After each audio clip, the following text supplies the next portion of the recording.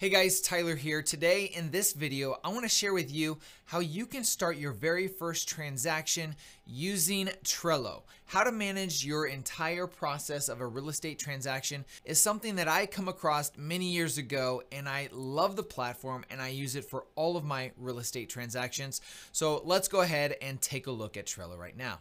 All right, so welcome to my Trello real estate board. Now, if you actually want the full template to what I'm going to show you here today, you can find a link down in the description. There is two versions. There's the basic and then there's an automated version and we're gonna be going over that in detail here in this video. So if you're just starting a real estate transaction, you have your contract ready to go and you wanna be able to manage the process, I've figured out that this is really the best way to manage that process. Now, if you take a look right here, you're going to see columns that go along the top, active listing, new contract, pre-inspection, post-inspection, pre-appraisal, post-appraisal, pre-closing, and post-closing. Now, you can make these yourself and feel free to follow along if you would like. Now, when you're actually making your first transactions, there's three, there's two ways that you could really get a transaction. Either there is a buyer or there is a seller. And we have both of those built into this program. So if you have a new listing that's going to be coming up, you're going to enter that into the pre-listing tab. So let's just call this 1234 Main Street. That's going to be going live here in a couple weeks. So once you add that here, you now can start the process. Now there's two ways you can go about doing this. When you go into the 123 Main Street and you've added a card, you're going to see that you need to add a specific checklist. Now, if you head over here, your checklist, and then you can copy items. This is how I save all my checklists. So let me show you. If we go all over to the right, you're going to see my templated cards. And these have all of the checklist for buyers and sellers built out completely. So if we check in and we look at the seller's templated checklist, you're going to see these columns right here. So this is their pre-listing forms required checklist. If we go down, this is the pre-listing input checklist. Further, there's the active listing checklist and it goes on and on and on.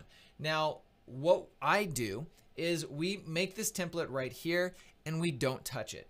If we go back over to our new card, we're simply just going to go in here, select checklist, copy from. We're going to scroll all the way down to the seller templated checklist and we're going to select the pre-listing forms required checklist. Add that. Boom, it pops up there. And since I have two for pre-listings, I'm going to go back to this and we're going to select the second one as well and that is the input new listings checklist. Now i have a template our basic template where you can manually add all those for every single file. But we do have an automated version and i'm going to show you that right here. So let's just say we have a buyer. That's the second way that you can add a transaction. You have your listings you store them here and when they go live you move them here just drag and drop, easy. Now, once you have a contract, this is where all of the automated features that we put together are now going to begin to work. So let's go ahead and add a buyer transaction here under new contract. So you just got something under contract and you want to add that to this transaction. So let's call that 4567 Main Street. And once you add that, it's going to automatically add that checklist if you have the premium version board that you can find the links down the description. It also puts a star on there automatically just because I want my admins to know that, hey, this is a new transaction for you to get started on. Please take a look at that. My admin's also notified through Slack. If you look right here, you actually can see this little notification or icon. You can actually connect Slack to this, and I do most of my communication through Slack and Slack channels and this communicates with each other and makes it really, really nice. So let's just get back to what we're doing here. Once we go into new contracts, you can see the information right here. You're going to see all these custom fields. Now, all these custom fields are all the details of the transaction that you want to know about and maybe you want on the front of the card so you don't have to open the file, dig through the file, find out the information you're looking for, close the file, put it back. This makes it a lot easier, a lot quicker and simpler. Let me show you. Okay, so let's just say um, I'm the transact, I'm the agent on this one. Let's just say the purchase price of this was $350,000. The seller paid $5,000 in closing costs, and you want to remember that the earnest deposit you remembered was $3,000. The earnest details, was it submitted or not? Maybe, maybe not. Let's just say you have a closing date of January 27th. You can select the financing as conventional inspections. Is there inspection or no inspections? All this information is really, really helpful and is information that I want to see right after I put the transaction together or I want to reference. And then if I go back and I look at the card, look at that. All that information is right there. This is a really nice feature and it allows me to see what's going on very, very quickly. Now, if we go back into this, you're going to see a description. One of the things that I have over as our one of our templates is our essentials person's contact information.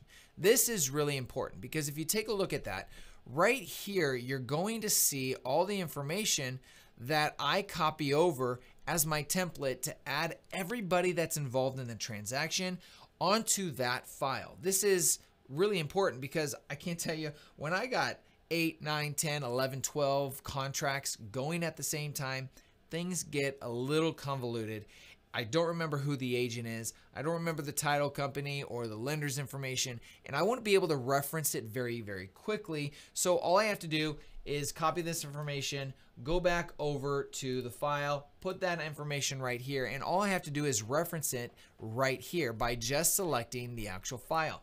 This is a big time saver. Let me just say that a big time saver. Okay. Now, let's just say you're ready to move this on to the next phase of the transaction. You've done the initial, the new contract checklists, and you're ready for the pre-inspection point. We're getting up to the pre-inspection time, and you want to do the items associated with that. Well, there's two ways you could do that. You could drag and drop. If you drag and drop, what will not happen is a checklist will not be added. You can do that manually if you want to do that. Or you can go in here and select our power-ups, our automations that we've created, and select the buyer move to pre-inspection column. You select this right here. It's thinking a little bit. Oh, you see it right there. It already moved. And then if we scroll down, you're going to see the next uh, buyer pre-inspection checklist. Boom, right there. All that just showed up and it moved it on to the next file or the next stage of the transaction. This makes it so much easier. If you're a list person, if you like checklists, you're going to love this because it saves so much time. If you're not a detailed person, you're not a checklist person like I am. I'm not a big detailed person. I might not do all the checklist items, but I will for sure move items from one stage to the other so I got a big picture of what's actually happening within the transaction. This saves me a ton of time. I'm pretty sure I've said that a hundred times. You can really lose track of things when you have multiple deals going on, and this is a big time saver. So we have that. Now, once we move over, I have an automation set up. Once we move the active listing over to the new contract, this will automatically start the next phase of the transaction. It puts a star on it. It already added the new checklist and boom, you're on your way to doing a transaction within Trello for the first time for your first transaction.